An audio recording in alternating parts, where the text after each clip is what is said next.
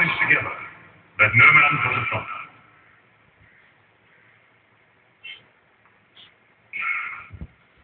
Forasmuch as William and Catherine have, con- have consented together in holy wedlock, and have witnessed the same before God and this company, and thereto have given and pledged their troth either to other, and have declared the same by giving and receiving of a ring and by joining of hands. I pronounce that they be man and wife together, in the name of the Father, and of the Son, and of the Holy Ghost.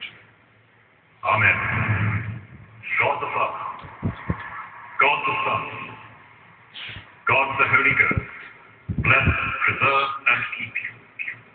The Lord mercifully with his favor look upon you, and so fill you with all spiritual benediction and grace, that ye may so live together in this life, that in the world to come ye may have life everlasting.